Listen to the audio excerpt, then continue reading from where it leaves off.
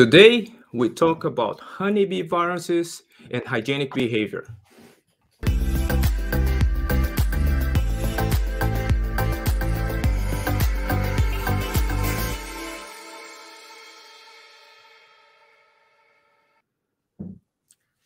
Hello, everybody. Welcome, welcome. I think the first line that I just said, I was mute, so I'm sorry for that.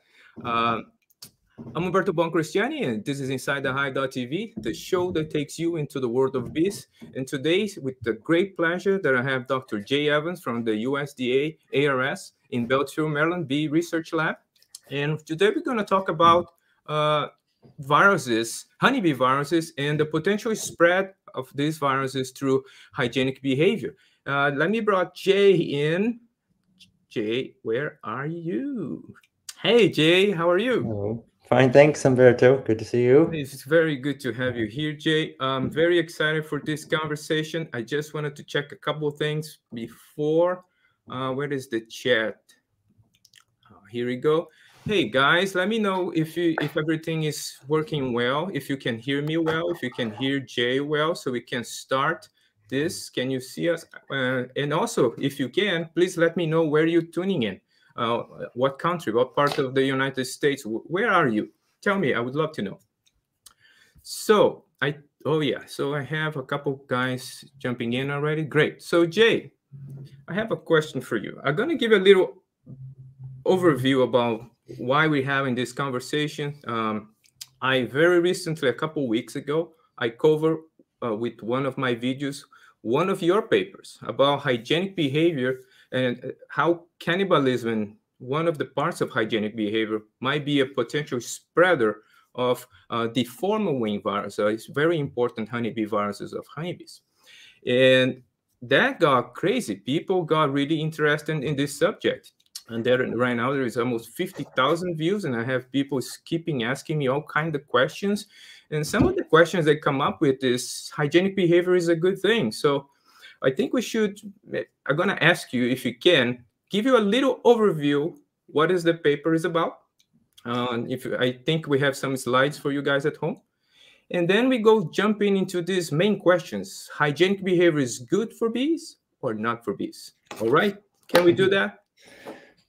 That works for me. Yeah. And I mean, as we talked, um, we both want to set straight that hygienic behavior per se is not bad for bees yes. or bee breeding. Spoiler alert it's a beautiful trait and it's done much for the health of honeybee colonies. So, so um, what we're looking at is is an interaction within the hive um, that in this case is is is um, um, affected by cleaning out of diseased brood, but it certainly in our in our hearts and our brains, hopefully, and given the science behind this, which which is uh, the work of colleagues and bee breeders, um, hygienics as a whole um, are are excellent targets for bee breeding. I think as a whole. So, but yeah, I will show some slides about this study yeah, so and let's, um, let's, give a little overview what the the thing is about. So then I have a bunch of questions for yeah. you, Jay. So yeah, and and also we would love to get feedback. Again, I see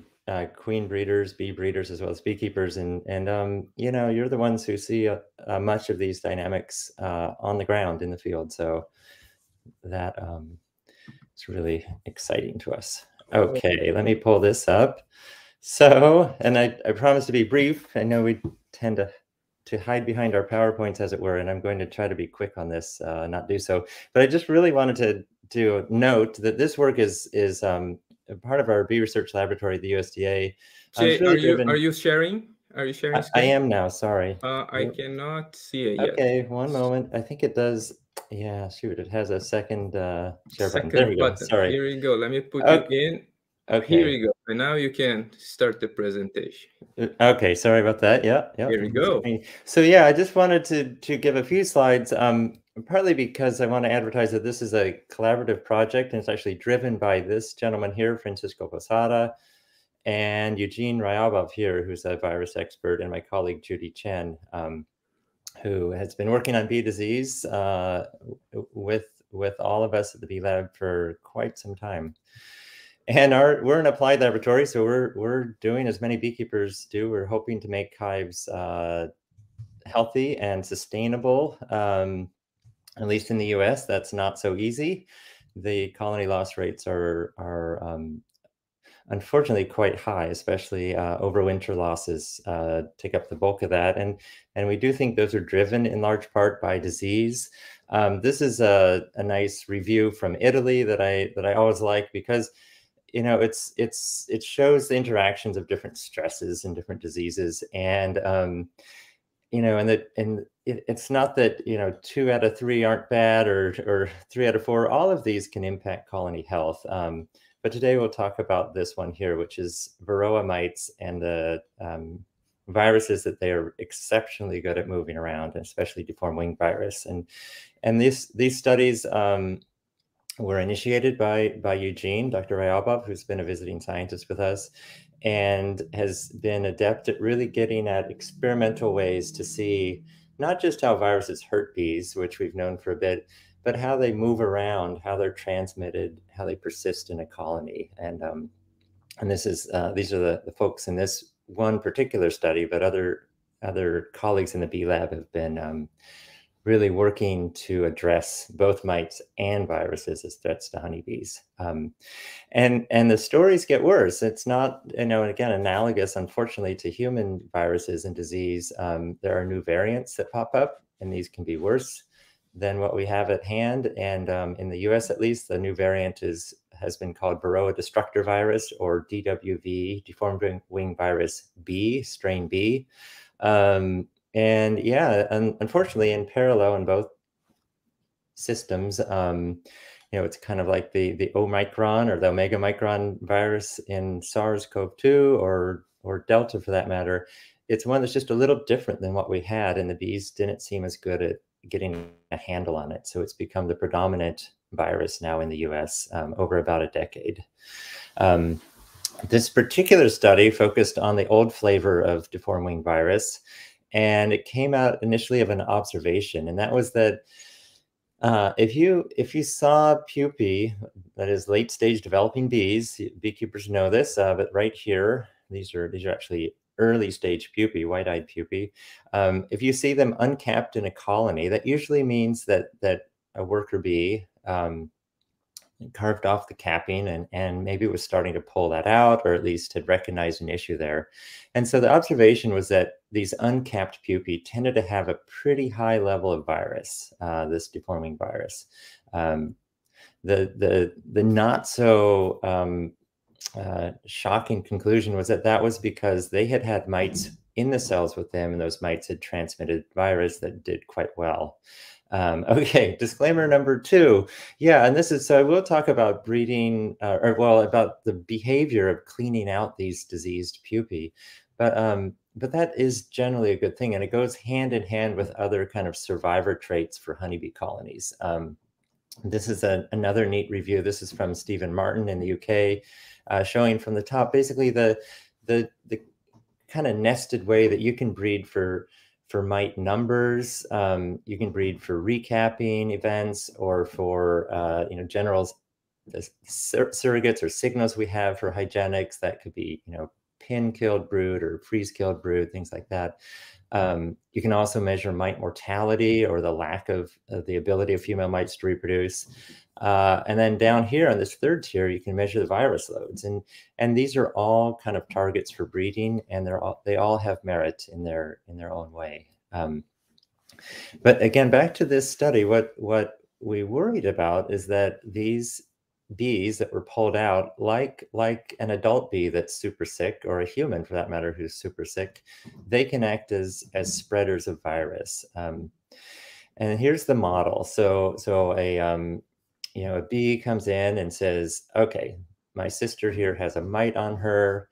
Uh, let's cut our losses and uncap and remove that sister bee and the mite, hopefully disrupting reproduction of the mite and slowing mite uh, population growth.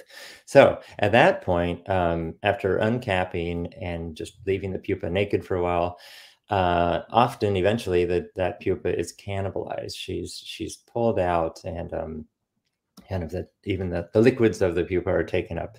Uh, those bees that, that are the, the feeders, as it were, on their sisters, um, then, as do any honeybees in the colony, often feed others. So they have this kind of um, it's called trophallaxis. It's a feeding of brood across the colony. And, and the risk is that a freshly captured virus from this event will then be passed on to numerous other nestmates. And so here's the experiment. And these, um, we used a fluorescent uh, dye or a promoter in the viruses. Um, these are all lab experiments in, um, in cages and in, the laboratory. So these are not, uh, we haven't done any of this out in the field.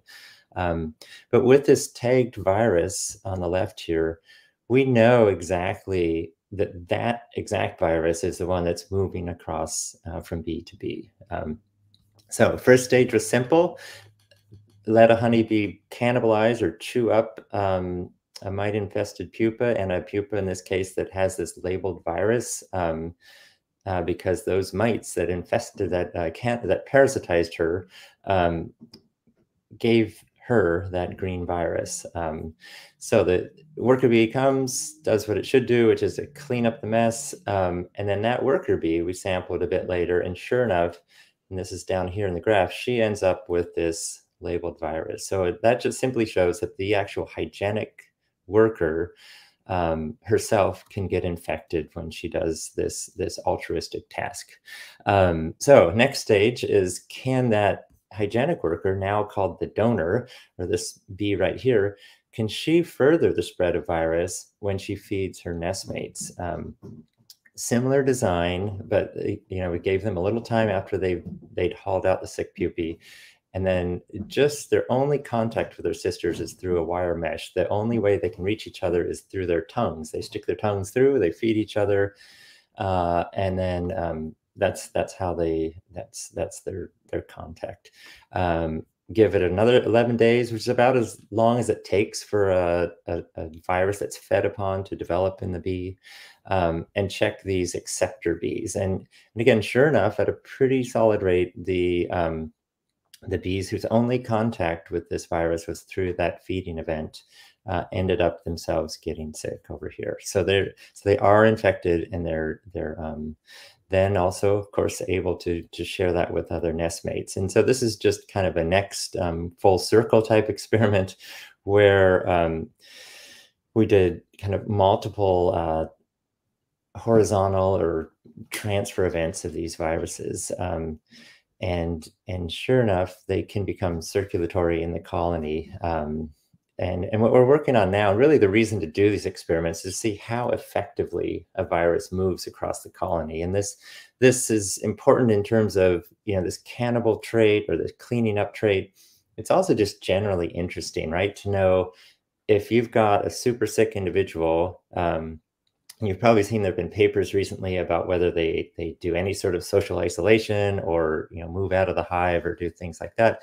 Um, and they don't do it terribly effectively. So they're often in the hive for the rest of their lives, um, possibly foraging, but also um, in the hive.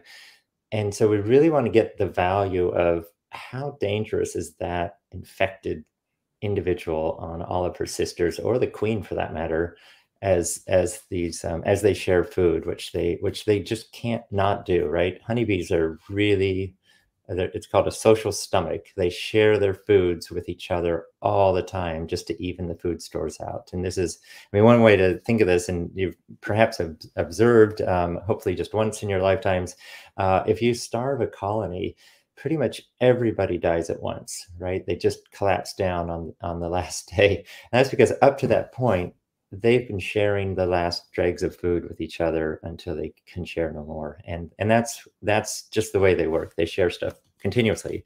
Um, so this is again the sort of the punchline of the story is that as they do that um, they're moving viruses around. And again it it doesn't matter so much the source of the virus infection. In this case it's it's this cannibal act. Um, this could also be true perhaps for a heavily infected bee who herself had grown up with a varroa mite and was infected. Um, but in, in, the case of these these bees that had fed on a, a sick sister, um, and in the course of, of cannibalizing her, uh, the food is still in the gut and and the crop actually, and it can be shared pretty readily. So, um, so that that was that study. And again, just just to highlight, there are other um, uh, ways to limit the impacts of these sorts of things. Uh, the first would be to get rid of the mites, which started the infections uh, in most cases, and these are the you know various hygienic or mite reproduction reproductive reduction traits and VSH, varroa sensitive hygiene, which are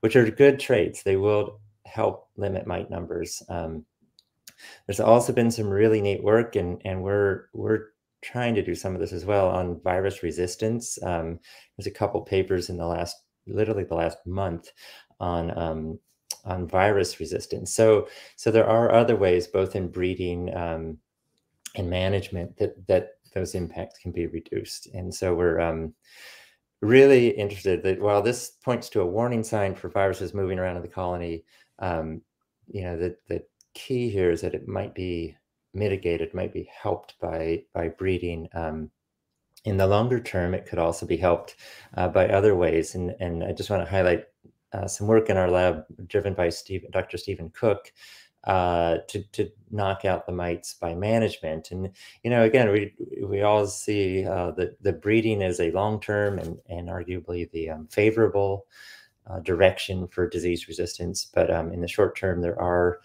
ways to control mites, and many people choose to do so. Um, what Steve's group is doing is to find new and maybe safer ways to do that. And he's he's become, uh, for a scientist, and you know, I give him credit, he's become adept at the regulatory side of all this stuff. Um, something I'm I'm quite inept at, and he's been able to uh, you know work on testing compounds and then actually push them steadily along their path um, with partners to get um, to get licensed, which is a which is a long haul for that, and um, and that's one way to do it. Um, we also have uh, uh, Dr. Sammy Ramsey in the lab, and he's so Sammy's thinking big. He wants to get all the way up to um, just a wall, a wall such that the mites can't touch the bees and they can't um, do their thing when they get in with cells. And I'm trying to show you real quick one of his uh, videos here, which he's gathering some really high resolution, cool videos. And you, have perhaps seen this because he's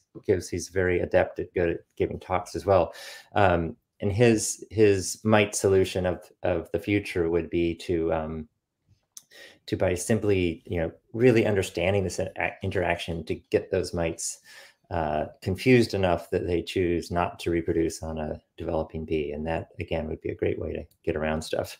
Uh, and then, and somewhat selfishly, I wanted to highlight some of our work, which is really targeting the viruses. So we're looking at medicines uh, not for mites, not for nosema, not for chalk brood, or the foul broods, but um, new medicines that might target might uh, target viruses, and um, and that's been really fun. And uh, um, Umberto knows much of this and has helped um, as a virologist really helped helped guide us in many of this these projects as well. So so that's um, one of the angles that we're looking at uh, now, even into the winter. Um, so I'm going to stop there because I know what you really came for is to talk about um, how viruses move around beehives. And um, but I'd be happy, and I know Umberto would be happy to answer more general questions on bees and bee health as well. Thank you very much, Jay. Thank you. That's very nice of you to spend your time with us here today. Uh, so let me go back a little bit and just get into the mind of a beekeeper. That, and I got so many questions from them. And so now we have this in our mind. Uh, sorry about my dogs. It's a live event, so that's what happens when you do things live. Uh, we have, we know for a fact now that hygienic bees are able to transmit viruses, but we, for sure, this was along for millions of years, right?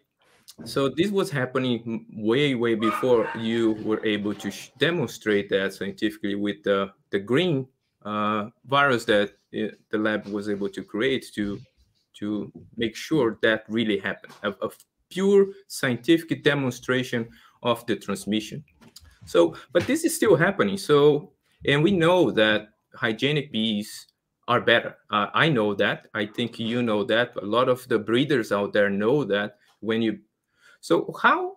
What's the impact of that? What are the consequences? What What do you think uh, is our learning uh, main message that we are learning from from such experiments?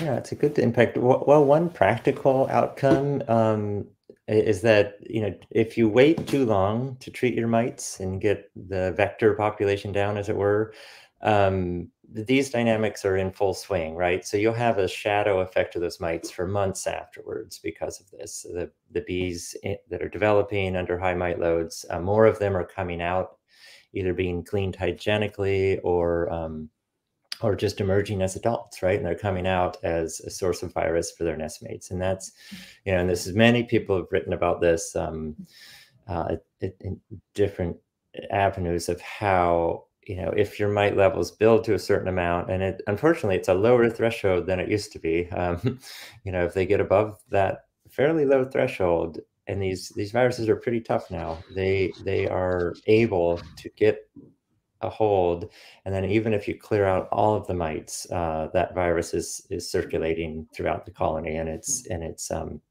it's not that it's too late, but you will have impacts, um, shortened bee lifespans, for example from those those kind of steady drain of viruses in the colony. And and so yeah i would say one thing is is another warning sign that that actually that might control and it could be through breeding you know, better bees that keep mite numbers down or through treatment or through brood breaks or through um, you know other ways that people can can uh, can safely manage their mite loads uh, those have a long lasting impact you know over months of of keeping that average by and we're never going to get rid of viruses or probably mites for that matter but the virus it's the virus level. What i mean i've talked about yeah one study that we did a while ago with uh, benjamin Dainat, who was a visiting a graduate student here um, showed that the colonies that were collapsing it, it you didn't see anything you didn't see bees with deformed wings you didn't see these sort of really chronic signs of virus um, but the middle-aged bees were the ones dying. So they might the bees kind of get up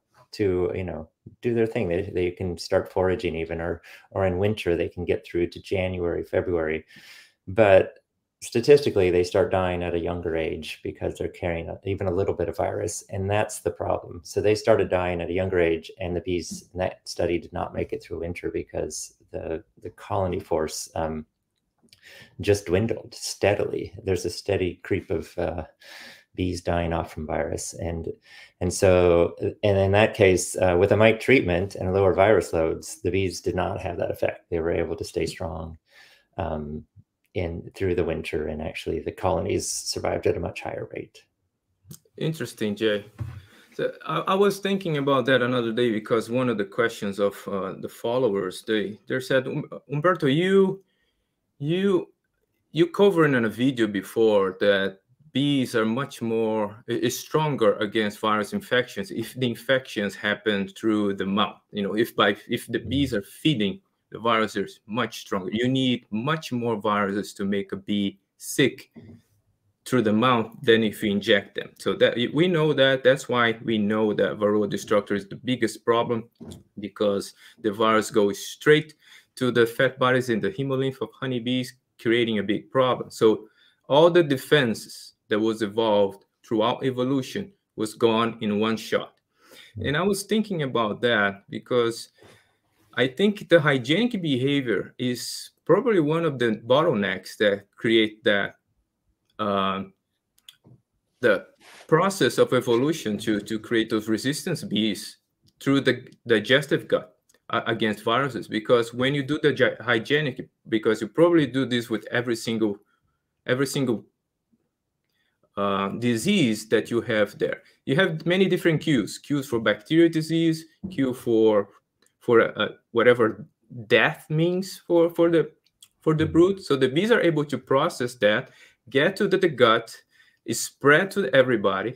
And there is also mechanisms to pass to the other generation and blah blah blah. But you know all this system it was happening all the time. And the bees that survived that are the bees that we have today. So i think that explains why very likely uh, that's the bottleneck why most of the defenses against viruses are in the digestive system of honeybees and if you put directly in the hemolymph they're gone do, do, do you would you agree with that I would, yeah, and and, actually, it, make, it reminds me of another. You know, every study is sort of a piece of the puzzle. Uh, we did not measure mortality in these bees. So yeah, we, that's we, my third question. Yeah. I jumped the gun. Sorry, I shortened your show. No, um, yeah, we did not um, show that that receiving the virus from these cannibals or hygienic bees or bees that had cleaned out um, was impactful. We did quantify the virus levels though, so we do know, you know, compared to say a mite parasitized bee and and and the steady state background virus, how much virus was there, and so that and they were substantial. They were you know significantly um, present. But but yeah, you're, it's a really good point of of actually the difference between um, getting a virus that way from a sister, say, or or or, or actually being the bee that chewed on the on the um, the dying bee uh, versus getting it from a mite. Clearly, the ones that were parasitized by the mites, either as larvae or adults, or larvae slash pupae or adults, um, you know, even the adult bees that have phoretic or hangers-on mites on them, that transference of virus is is very potent, as you said. Um, and so what we're looking at here is maybe these are, you know, maybe they're not going to die soon, but by passing them around, they might in, initiate a virus in bees that are themselves then, um, you know, a source of food for mites. They're parasitized by mites, and then that virus gets into the mites and continues its cycle. So, so we do think we're sustaining, in a way, a virus population, and that has bad uh, kind of outcomes, as it were. Um, but we don't know if the actual individual bees that are that are driving that that sort of post mite, you know, kind of pattern yeah. virus if they do badly. But um, it's a great question. I, I think we'll have to look at that. It might be a similar design, but look at that exact question is a good one. Yeah, there is a lot to explore there. Uh, so today, we, the, the systems we have to select hygienic bees, you know, it, normally we you go there with uh, you know with liquid nitrogen and we freeze them, and then we have a, a way to quantify them and the the ones that responds to that test we we pick the genetic of them to propagate more. That's basically how we select for hygienic bees today. I, I was wondering if there is any other way we can do this with specific cues uh, jay because right now we're we're selecting that. What cues we have there that we could say is that the right cues for hygienic bees that you want to select or there is any other way that we can do this better? For example there is any way that we can select the bees that do hygienic behavior but do not cannibalize or you know do you hmm. know what do you know what we know about those cues i have a person that i'm think i'm poking the person that work with this to bring to the channel so uh, but I wanna I wanna know from you. Do you know if you how much we know about those cues? Because I I don't know much about them. Yeah, I actually read a there was a comparative paper recently um, from France actually where they they did the freeze killed brood versus pin killed brood, which is again another kind yeah, of yeah. strategy for for measuring hygienics um, versus this sort of suppression of mite reproduction or the and and all three can co-vary. I think the pin killed actually was one closest to the um, overall mite resistance in that in that particular population, which may not be true, but it just suggests that they're the cues that those bees are using are that and they're they fall out with genetics. They've been pushed into the population, especially in survivor stock. Um, but they can be a little bit different. And to me, that's exciting because it means like that means you could meld this hygienic lineage over here with one that that's a mite biter or that's a you know a, a, that suppresses mite reproduction. So there's there's three or four possibly flavors of of mite slash virus, well, vector resistance, I guess, and and they're all um, compatible with each other. So I think, uh, and then just as a as a way, and I think um, there's a great study also recently by Barbara Locke, L O C K E, in Sweden, and colleagues. Um, it's in scientific reports. I, I, think I had it in the slides there, but it um, it compared the the sort of Swedish, um, the Gotland bees that are survivor stock, uh, similar population from Norway, a population from Denmark, and then the one from um, from Avignon in France. So they're all four kind of untreated, long term surviving stocks with mites. Um, and they had very different mechanisms of, of mite management, as it were, on their own. Uh, and and what what seemed to set them up too is they all had some sort of virus resistance too. So so in pushing them to survive mites, they either push them to survive or tolerate uh, viruses. And tolerance is a double-edged sword. It means um, it's like you know some of us uh, you could carry a you could carry a virus uh, and never show never skip work right? You never show symptoms. That means you're tolerating you know a virus infection. Um, you're not resisting it per se because it's still maybe circulating in your body um, but it doesn't slow you down. You go off to work and and uh, unfortunately that means you're also uh, perhaps sharing that virus with others instead of staying home and protecting others. Uh, but it, it's a very true trait for humans and for bees that that you can have um, you know viruses in your cells in your body and yet you don't live a you know, it doesn't shorten your lifespan or change your behaviors. And so the bees that they were finding in these survivor stocks and these are four like independent lineages never met each other as it were for bees um, they all showed some level of this this sort of virus uh, resistance as well or tolerance and and um, yeah, and, and, again, I'm saying this is I don't in nor in research or anything. I'm not a I'm not a bee breeder, but I I do think there is hope for both the mite um, keeping mite numbers down through various ways, like you've mentioned, and if you if those bees can't keep the mite numbers down, to at least uh, deal in a better way with the virus infections that'll follow. That's hope. That's hope. We all here need hope. Uh, these are a little problematic right now in some places. Uh, so let's see if I can get some questions from the people here, Jay, to see if we can make this conversation even more interesting. So, guys, now is the time. If you have questions, I I think I saw a question from. Oh, this is a good question. That's for you, Jay, and come from Dr. Kara Wagoner. All right. Yeah, I see lower viruses load in hygienic colonies compared to controls. Couldn't shorten the lifespan of cannibals or social mechanisms like isolation be preventing spread of viruses within hygienic colonies? Yeah, I hadn't. Mm. Yeah, I think the um, there's these are hard experiments, but I think researchers like like Dr. Wagoner and others, I think, can tackle them now where you tag bees that are sick and bees that are healthy, and if they are able to, you know, well, one they they should still perform a role for the colony, I suppose, maybe foraging, but but in other ways, kind of uh, limit their um, their their roles as vectors to other bees. Uh, that social isolation or the the um, you know, kind of shunning, as it were, of sick bees is is it could be bred into them. I don't know that anyone's you know measured it yet at that level. Um, and I haven't heard, as she mentions, that it's connected with other hygienic traits. Uh, that's really exciting because that again shows that probably completely different genetic mechanisms are at work. Um, yeah. One, one for, you know, as most times it's measured just for cleaning out the mites, and one for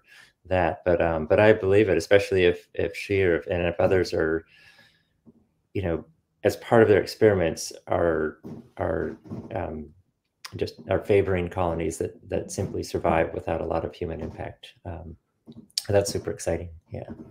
But um, Kara, yeah. if you are listening, I demand you in my show. You have to come. yeah, yeah, she would give a good you story. Have that, to no, come. That, that now is a is an invitation live, and you cannot say no to that. That could be the future. Yeah. Since no. you're and here, I don't. That, I don't know. Um, again, we had the. I guess our our cannibals, as it were. Well, they had to live 11 days or 19 days, I guess, 19, 20 days. Um, and I don't think I can ask uh, Francisco Yertin. I don't think there was any difference in survivorship to that point. But these are these are in the laboratory in, in cups. So things might be different if they had to really work for a living out there. Yeah, I I try different things with commercial guys all the time um, to, to see if we can you know sometimes we have cues we, we think we have cues bacteria are different from the cues from the viruses and different from the cues from from the mites and there is combination Oh, Kara, Kara just said, I'll be there. Yes. yes. That will be fun. Kara is specialized her work in hygienic behavior. So she might know all this, the answers for all these questions that we have here today regarding the cues. So Kyra, thank you. Thank you. That'll be fun. So I, am always trying these different things with commercial guys here and there to see if, if there is any impact, but nothing, nothing really come out. Uh, like we need something that can, uh, we we need to identify those cues and separate them and have a have some kind of menu. Like okay, in this part of the this region we have problems with these bacteria. Can we select based on these cues uh, a B that is better for this bacteria? Uh, uh, mm-hmm. uh, that's the kind of questions that commercial guys come to me. Can we find a way to select bees specifically for our location? So I, I I'm all all in for for you know selection, local selection. So local selections to me is one of the best things that you can possibly do. So let's see let's see if we can get more questions here from people, Jay. Uh, let me see. Are you guys shy today or? Oh, just one second.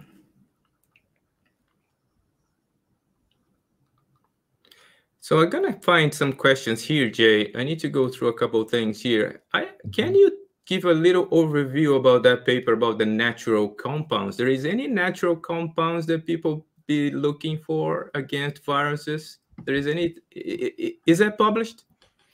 Um, the, yeah, one screen with the actual compounds. We, uh, well, we've done one that's published in 2017, and then one's coming out right now.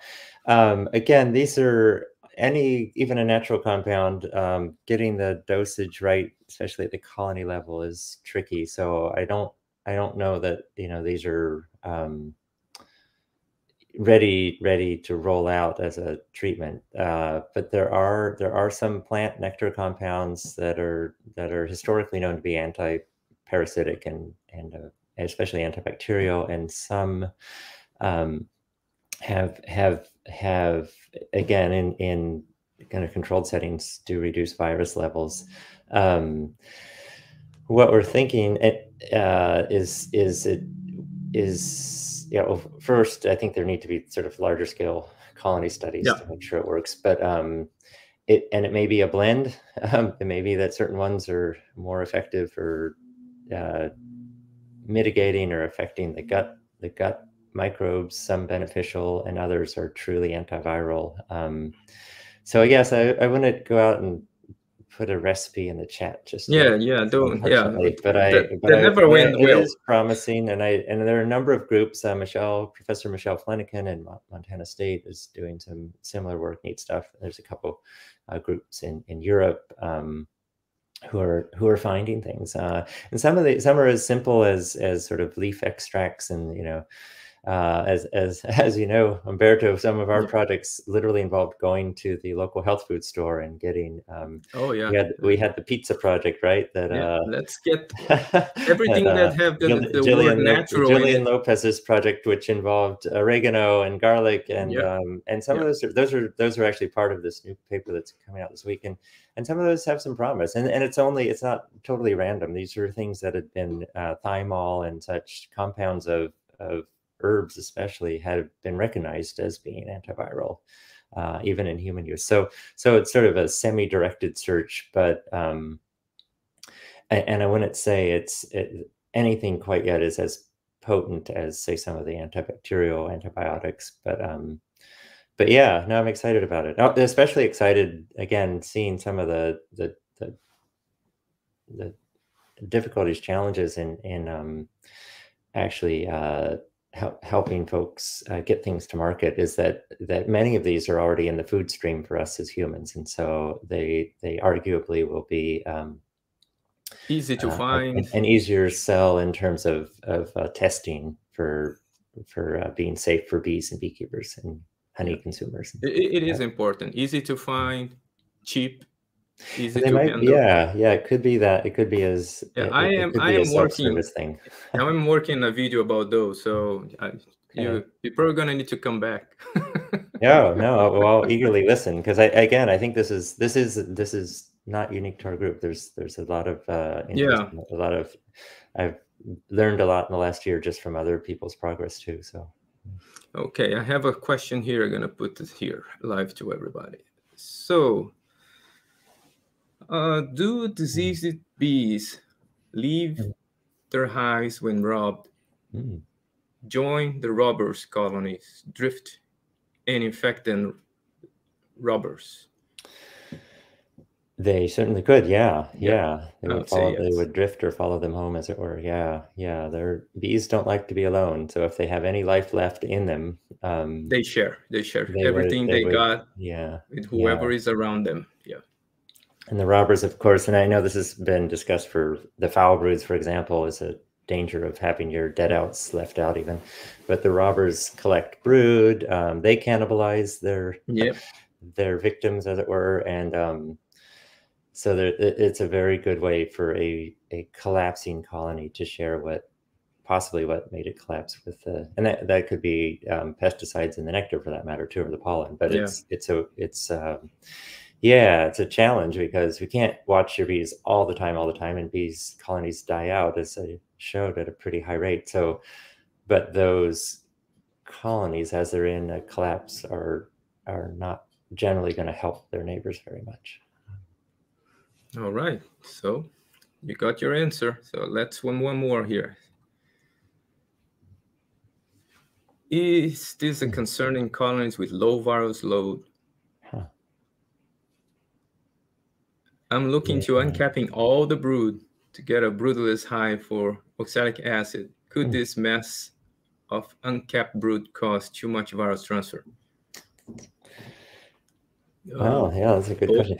It, it, it most most uh, sealed brood, which is you know the pre-pupae and then largely um, it, it- statistically eighty some percent truly pupae, um, is clean. That's one of the cleanest life stages. It's really just the ones that had mites feeding on them that that are that are thick with virus. So it's it's probably not. I mean, it's it, as say there's a couple thousand pupae, exposed pupae, they're probably no more contagious than a couple thousand worker bees, or they're less, they're cleaner than a couple thousand worker bees. Having said that, if you're clearing out brood, it may be better just to freeze it anyways. Um, I don't think maybe the nutritional gain of workers eating, and it's a lot of work maybe too to pick out, you know, hygienically uh, thousands of cells. So for the worker bees, um, Yeah, that's so right. yeah, I would. I guess uh, it's something It's a new question for me. I, I I I would guess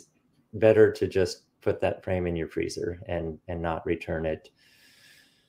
To you know, feed Yeah. the brood, feed the brood to your chickens or whatever you know people do with with brood and get get the wax maybe back eventually. But um, it uh, yeah, it could be a risk. It's a good question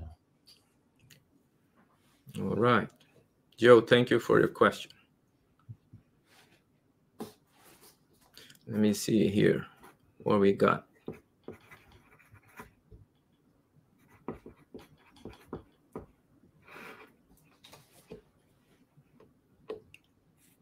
Uh, whoa, whoa, whoa.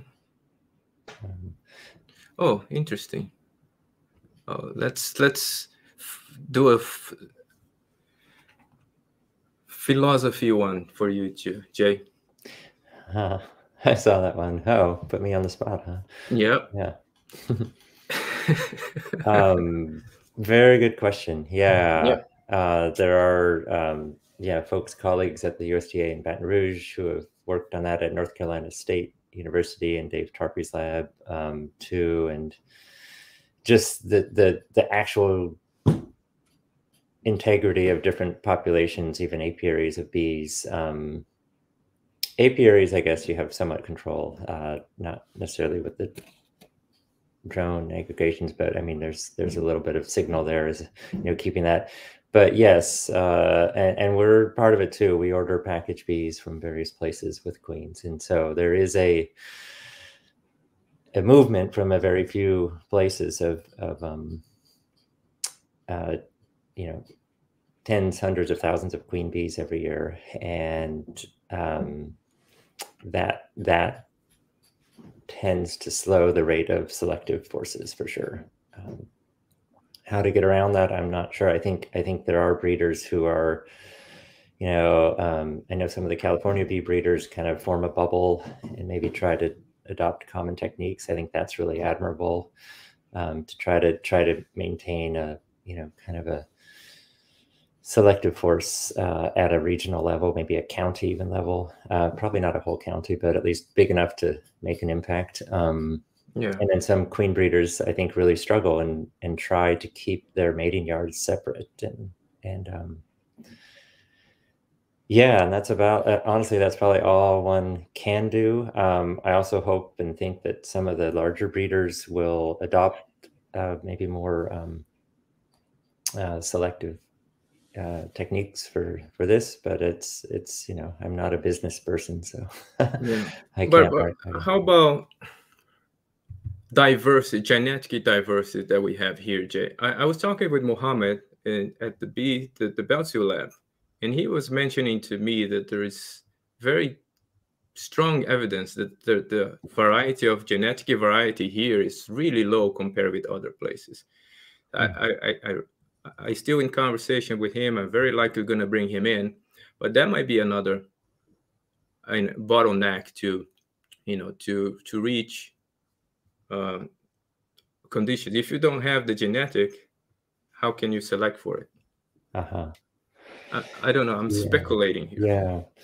Um, yeah, and I, I will say that the people who have selected for, say, hygienic behavior, um, even for survival in the U.S. with our with our populations, um, have found variation in those traits that's breedable. It's there's genetic variation. So I don't think we're so homogeneous that we can't find these good traits. Um, I think the bigger force is what the what um, the question addressed, which is the the drip of those traits against um, kind of a more non-selective force of genetics uh, that seems harder to deal with than than yeah. finding the traits it's hanging on to what you've got i guess and and um I, you know one again sort of tool on the horizon that's that i think is getting closer and there's folks using it is is using genomics using a, a way of sequencing the really good varieties for whatever metric you want to use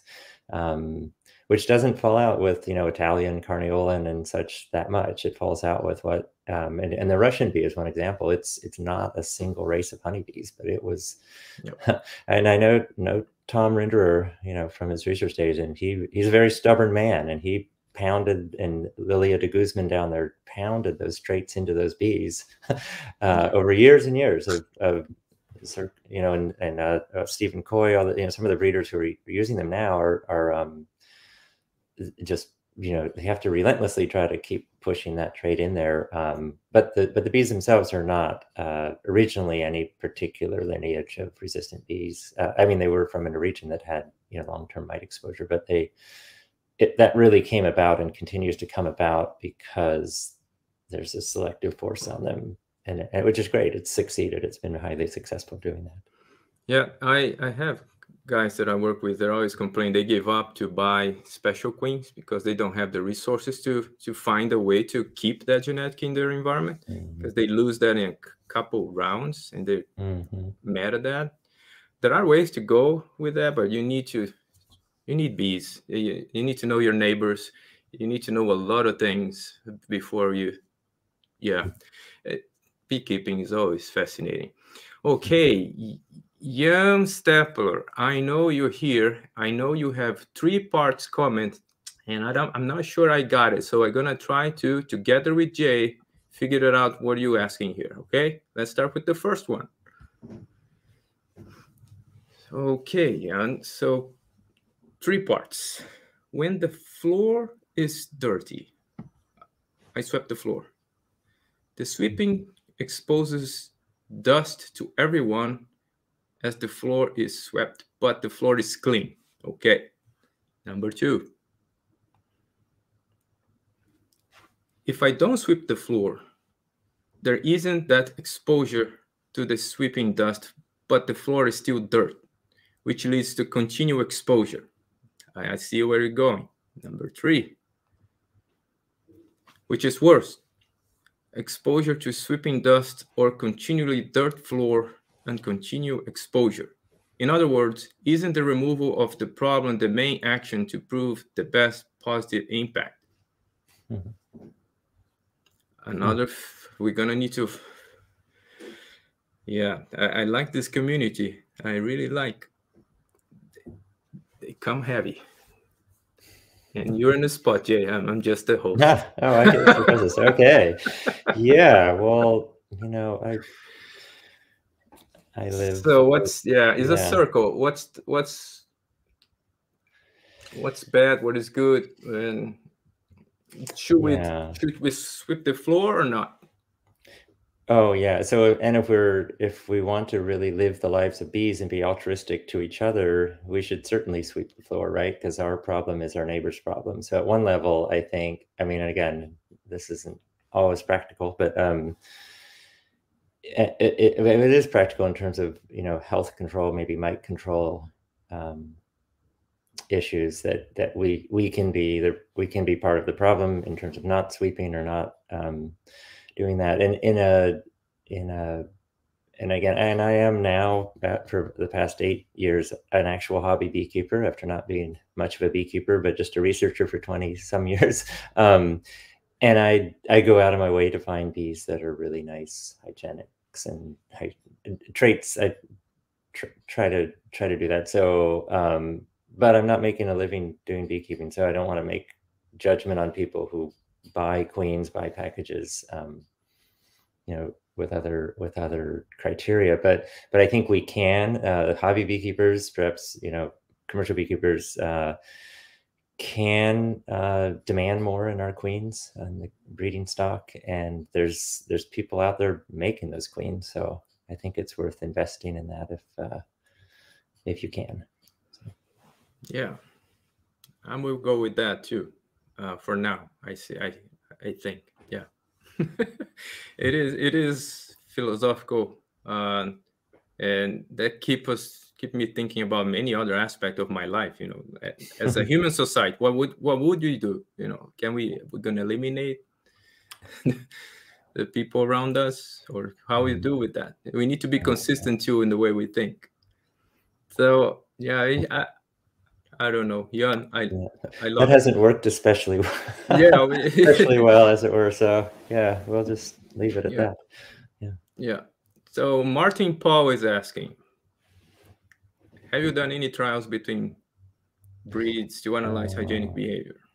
Gosh, I don't. But I think Kara said she would. She would address it. Passing the buck. We we are we Kara, don't. We um, need you here. Yeah, you do need a someone who's actually working with breeding and genetics, um, that's not something I do. So I in our, our lab we do have um, Dr. Mohammed Alburaki who's who's worked with strains of bees and genetic genetic diversity, but we're not in a place where we can breed um, for traits like this, unfortunately. But we rely on our colleagues to do that, and uh, there are a number of good colleagues doing this. Um, it I, I, again, I don't think it falls out though with Italian carniolan and such. Even the virus resistant studies, uh, Michael Simone Finstrom um, and uh, Kristen Healy, I think down at Louisiana State, he's at the Baton Rouge lab. They just came out with a paper on virus resistance in bees, and yeah, it won't.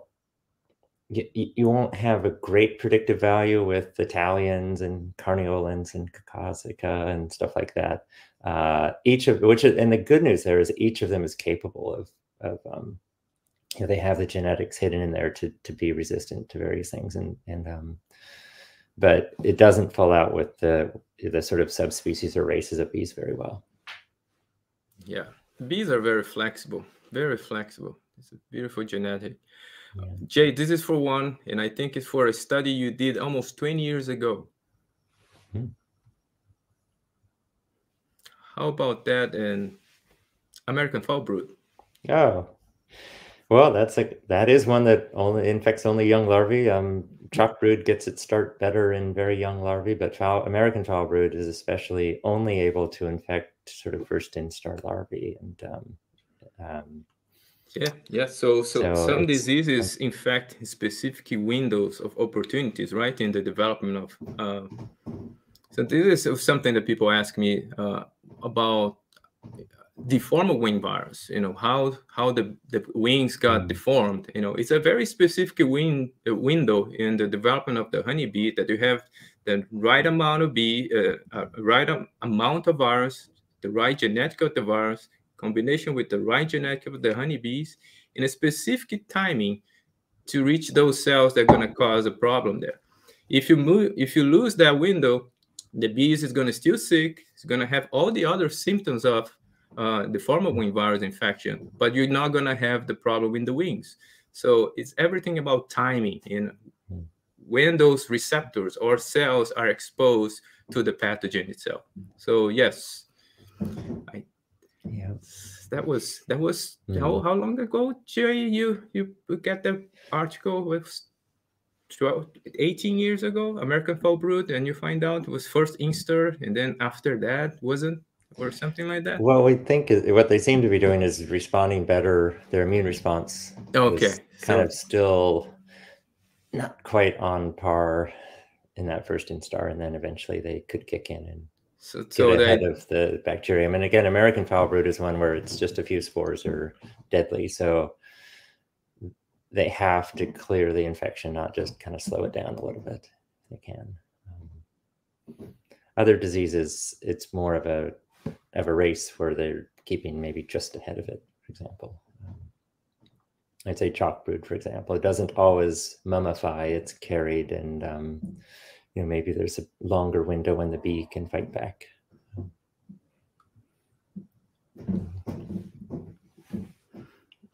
Okay, this come I think is for me because I brought this up with a video that I made. What about acidic hive environment? One study found that acidity somehow opens the and dissolve viruses. Um, so yeah, this is still it's just when I when I guys at home when I bring those videos about scientific, it's not a yes or and it's never a yes or no kind of thing. It's just it's just information that come up pretty new that we, we together as a community need to digest together. So the fact that I brought in the video was that yes, acidic environment apparently have implications with one family of honeybee viruses, Iflaviridae, and that includes deformed wing virus, uh, sac brood virus, and uh, slow bee paralysis virus, I guess. And yes, yeah, so if you lower the pH, apparently the capsid opens, and that have all consequences. But you cannot, you know, the bees have specific pHs inside the hive for specific reasons. You cannot just, okay, let's forget about what the bees needs. Let's keep everything the pH down and then we kill all the virus and probably kill the bees too so we need to be very careful with with the associations and the correlations with the new information we're getting in so that's why we, we do those live streams so we can discuss we can go into details can maybe try to get some protocols here together uh sometimes yeah so that's the new information and that's where I'm going to stop so we need to do more testing that's always the my my advice here Okay, let's see if you get something extra here, Jay. Uh, Kara is saying to mop the floor. Good. So, oh, mop it, not just sweep. She wants yeah, them just gone. Mop, Good. mop the floor.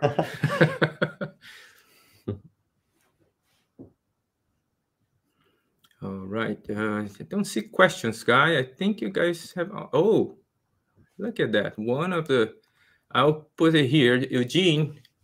Eugene is here with us, one of the authors of these articles that we're discussing here today. And he thinks that mopping the floor is better long term. Yeah. Yeah. And I also need you here, Eugene. You're, you, you're coming. yeah. And what he suggests, which is what this study that he was leading on showed, is that you could have a magic bullet and remove every mite in the colony mm-hmm. after this has started going and still have the shadow effect maybe the rest of the season into the winter and and hurt the bees so there's um you know, there's a there's a risk, kind of long longer term risk, I guess. Yep. All right, so this is what I think we got somewhere. Um, I want to thank you everybody to join us today for this discussion. I want to thank you, Jay, for your time to come here. Uh, it's always nice to to have the scientist itself have the guts to go in public and ask some questions and Yeah, answer some wow. questions live is- in the internet. There is no filter here. I normally speak with 10 people at a time, and here we are. uh, we uh, we reach around hundred people live now, so so we're getting Okay. somewhere. All right. Okay, thank Cool. you everybody, and I I want to say thank you to my Patreon too uh, for allowing to, this to happen, and I'll see you guys in the next video. Thank you guys. Bye bye.